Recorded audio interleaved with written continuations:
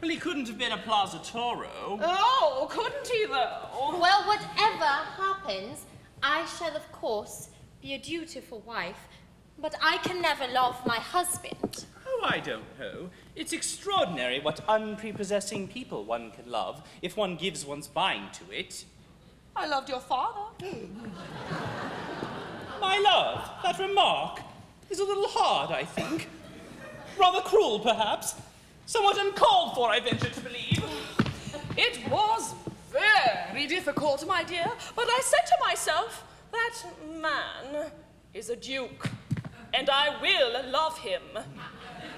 Several of my relations bet me I couldn't. But I did.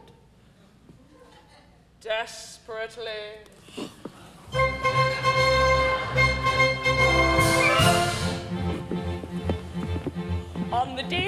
Was wedded to your admirable sire, I acknowledge that I dreaded an explosion of his ire. I was overcome with panic, for his temper was volcanic, but I didn't dare revolt, for I feared a thunderbolt.